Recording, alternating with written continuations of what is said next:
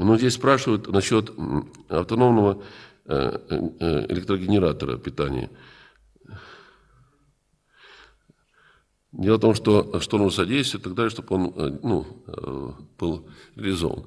Ну, понимаете, на данный момент есть, я, в принципе, знаю несколько разных разработков разного типа, именно вот такого плана генераторов. На данный момент навряд ли, понимаете, если эти разработки попадут в руки типа Чубайса,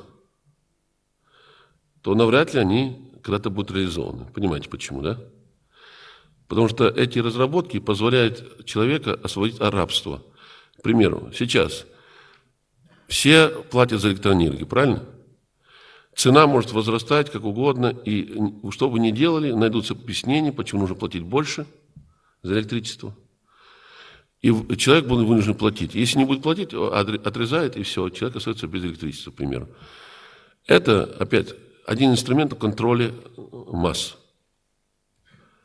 Многим именно такой контроль нужен. Вот такие приборы, которые позволяют, чтобы каждый желающий мог в любом, даже глухом, самом глубоком уголке тайги мог э, получить независимый источник энергии – за который ты купил один раз, заплатил, или там э, резервный купил запас, чтобы был запас на всякий случай, и работает по 10-15 лет без замены, то это невыгодно многим паразитам. Понимаете, сейчас в мире создан, э, я назвал паразитический капитализм. Понимаете, социализм тоже, э, который многие говорят, вот был социализм. Никакого социализма никогда не было.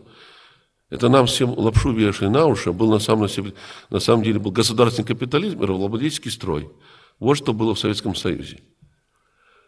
Поэтому, э, э, э, если вернуться к нормальным отношениям, когда человек становится действительно свободным, а это можно сделать, только вместо паразитической системы сделать не паразитическую систему.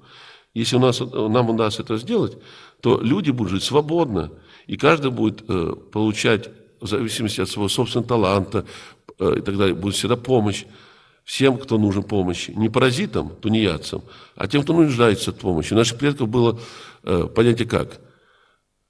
Уважать нужно тем, кто достоин уважения, помогать нужно тем, кто достоин помощи. Раньше как бывало? Если у кого-то сгорал дом, все собирались, э, суббота, воскресенье, допустим, выходные, и строили всем миром новый дом, правильно? И приносили погорельцам все, что могли. И так помогали каждому. Вот такая была взаимопомощь. А сейчас что есть? Подумайте. А это от нас с вами зависит. Это уже не паразиты действуют.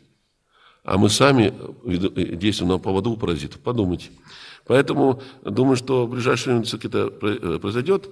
Будут созданы производственные мощности, где будут производиться эти генераторы и э, распространяться на территории России. Для того, чтобы именно Э, жители нашей страны э, могли, так сказать, освободиться от рабства.